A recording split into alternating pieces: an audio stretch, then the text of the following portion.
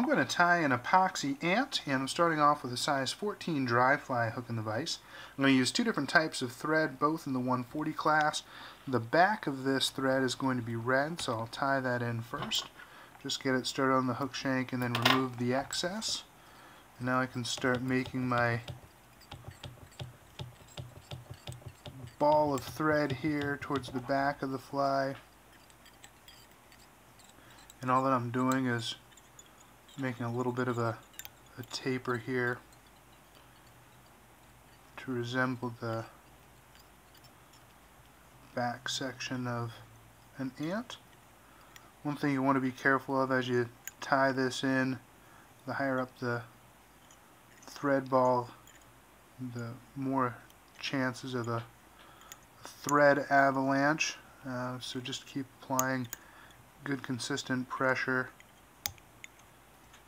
to the pattern. You should be alright. Okay, once I'm happy with that then I'll work my way down to the front of the pattern I'll just put in a whip finish here. Make sure you keep good tension on the thread the entire time. So again, so you don't lose control of it.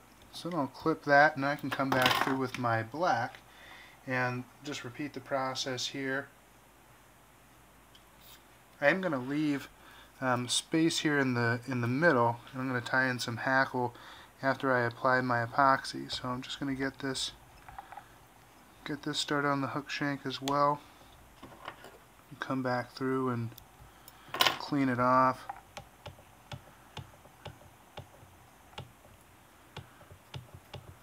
And then I can come back and start to make my head of this pattern or my thorax.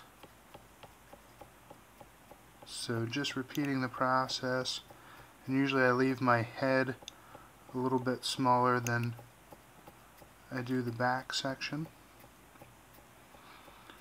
And for the amount of thread that you put on, uh, the epoxy is going to make it uh, a little bit bigger once it it's on and dried so it'll be a little bit larger than the size that you see with the thread here. So once I'm happy with that then I'll just whip finish.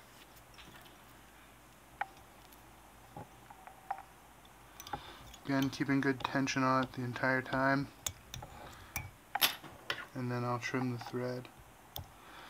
So I got my general ant shape, time for the epoxy.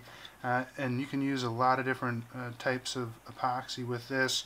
Um, I'm going to use just a household epoxy and this is a Gorilla Glue uh, and it's a clear, it comes in two parts. So I'll just take a little bit of each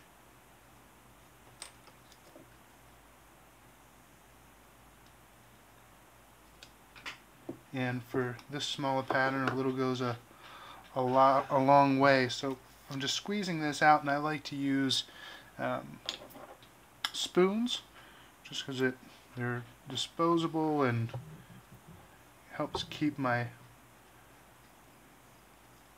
amounts consistent. So I'll just take some of this and it'll probably look a little bit milky when you apply it but uh, it'll it'll dry clear. So I've got my epoxy. I'll just put a dab on there. Clean off my excess as I go.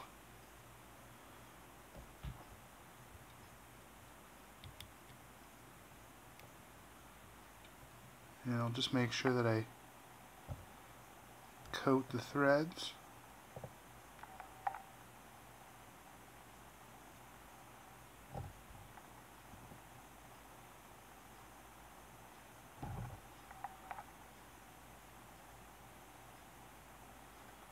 And I want to make sure that I have that that space in between so I'll just try to remove some of the excess push it to to one side or the other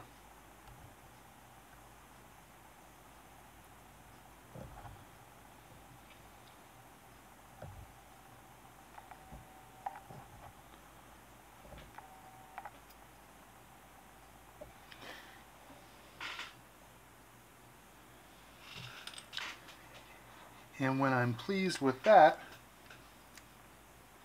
you can set it on uh, a rotator to, to dry or because of the volume uh, it shouldn't it shouldn't pool up. I'll set it here in my vise and just let it um, let it do its thing and then uh, I'll come back to it when it's dry and wrap in the hackle so now that my ant has had a chance to set up and cure I can come back through and attach some hackle to it. So I have swapped out my thread. I'm going to use an 8 black uh, just because it's a, a thinner diameter for this for this hackle. And so I'll get this started on the black. I'll come back through and I can trim off the excess and then I can start to wrap in my hackle. And for this I've just got a black dry fly hackle. I've got it measured out uh, to the same size of the of the hook. And so I'm just going to take a small piece of the stem, just enough to make sure that it stays put, and tie that in.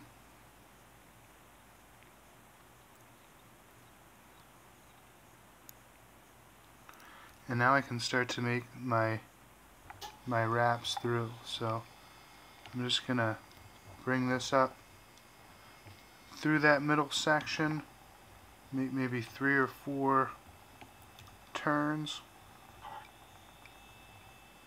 And when I get back to my thread then I can wrap that through. I'll trim the excess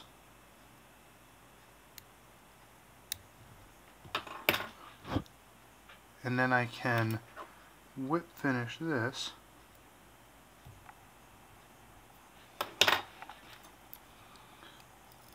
Right where I trimmed it.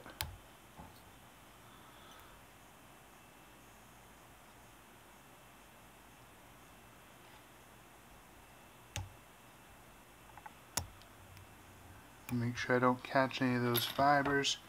And now I can trim off the excess.